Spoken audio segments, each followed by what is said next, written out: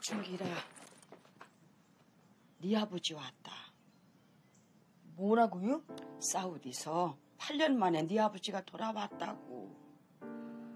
그리고 인자부터 네 엄니 이 집에 없다. 뭐라고요? 아이고, 언니. 불쌍한 내 새끼.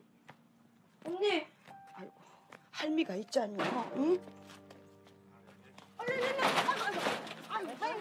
다 왔어요.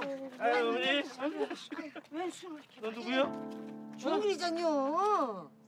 중기 우리 아들 가자 가자 아, 가자 어, 와. 아, 아이고. 이라. 아이고.